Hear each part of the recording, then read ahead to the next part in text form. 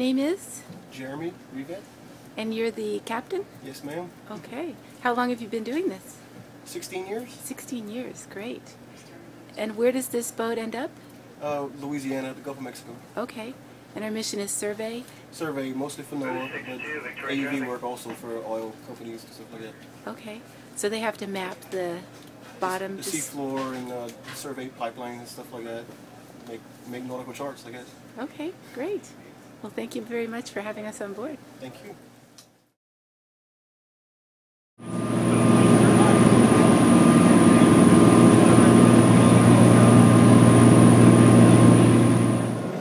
Watch your head. We've got the suppression, uh, fire suppression system here.